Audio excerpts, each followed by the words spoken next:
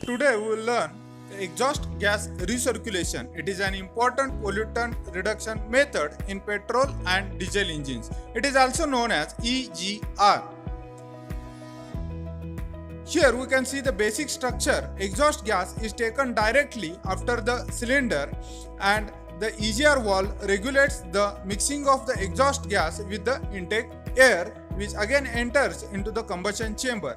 This allows less oxygen available for the combustion which reduces the temperature and reduction in temperature reduces the level of NOx that is nitrogen oxides production into the exhaust. In petrol engine, this also reduces carbon dioxide emissions and fuel consumption. It is one of the important method to improve the engine performance. Here we'll see in the details. The exhaust gases goes out of the exhaust port and some part of it goes towards the exhaust manifold and some part is recirculated. In between a heat exchanger is provided which reduces the temperature of the exhaust gas. These are advantages of EGR in CI and SI engines. The mass of exhaust gases introduced in an engine depends upon the conditions of load, engine design, RPM, type of combustion and temperature. The maximum percentage of recirculation depends upon type of ignition and type of fuel used.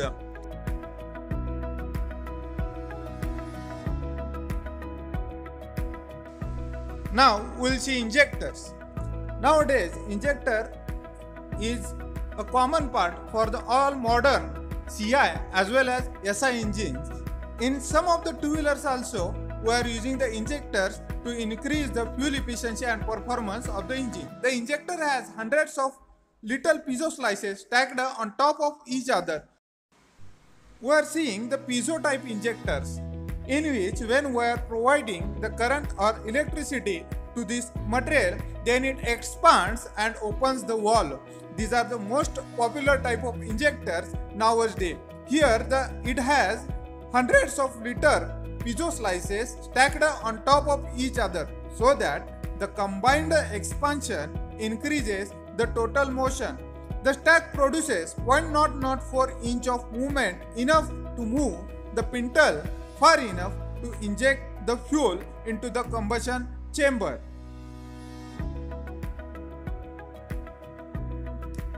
At turn off, the piezo stack shrinks. A spring closes the pintle.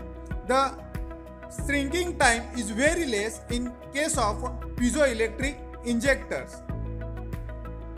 We'll see some of the benefits of piezo injector. They open and close much faster than conventional injectors. That allows a more precise control of the injection which determines how much fuel is sprayed.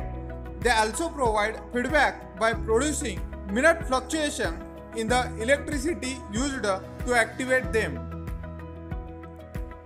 This makes the engine more fuel efficient. As an example, if a computer commands an IP time of 0.5 second and the injector response shows that it opened only for 0.496 seconds, the computer can compensate for the lean condition on the next firing of that injector which is very beneficial in the quick action and providing more and more efficient efficiency for the engine. Now we'll see the actual construction of the piezoelectric injector. It is the smaller in size and at the top it has a stack of piezo material and then it has two types of springs provided for returning of the pintle.